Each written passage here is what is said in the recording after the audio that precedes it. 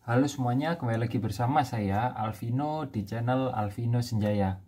Nah, pada video kali ini saya akan menjawab pertanyaan dari teman-teman di YouTube yang sudah komen di video saya sebelumnya ya, mengenai apa? Yaitu mengenai kita memasang wallpaper di dinding yang memiliki warna mencolok. Oke, langsung kita bahas di video kali ini. Cek di Video ini dipersembahkan oleh Studio Interior Base Wallpaper Malang.com. Oke, sebelum saya jawab, saya bacakan dulu pertanyaannya dari Kak Nadira HR. Terima kasih sudah bertanya. Pertanyaannya adalah ingin memasang wallpaper warna krem kecoklatan ya di dinding yang berwarna pink ya. Ini dasarnya adalah kita ingin memasang wallpaper ya di dinding yang warnanya mencolok. Pink itu termasuk warna yang mencolok. Kemudian warna apa lagi? Hijau terang. Ya, bisa juga warna hitam ya. Itu dan macam-macam lainnya. Ya. Nah, apakah ketika wallpaper ini dipasang akan terlihat setelah selesai dipasang? Ya. Langsung saya jawab dari pengalaman saya melihat tukang yang sudah memasang wallpaper di dinding yang dengan warna mencolok adalah tergantung wallpapernya teman-teman. Kenapa? Ya wallpaper ada memiliki berbagai macam variasi dan bahkan banyak sekali macamnya. Ya tinggal bagaimana teman-teman memilih ya wallpaper itu sesuai bahannya ya di mana ketika kita tempel itu tidak akan tembus ya.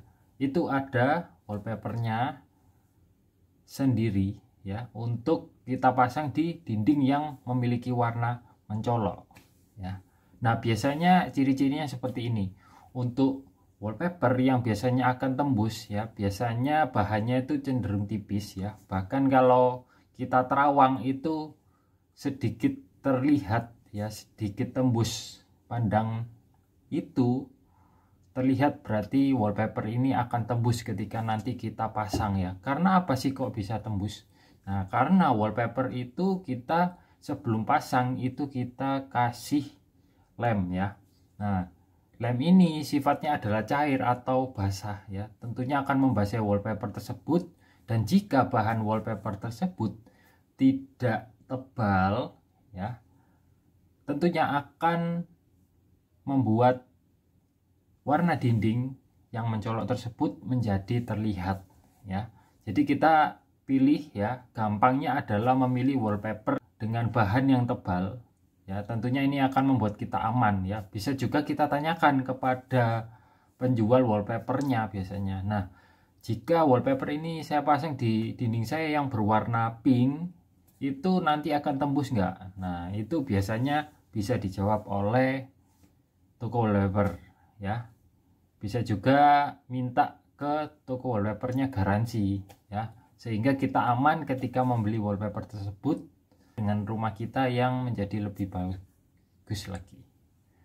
Oke semoga menjawab. Terima kasih sudah bertanya Kak Nadira HR ya. Semoga ini membantu. Jangan lupa untuk like video ini dan share ke teman lainnya agar dapat memberikan manfaat yang lebih luas lagi, jangan lupa untuk subscribe channel saya Alvino Senjaya agar saya selalu semangat memberikan informasi-informasi yang bermanfaat dan menjawab pertanyaan dari teman-teman semuanya. Oke, sampai jumpa di video saya selanjutnya. Terima kasih.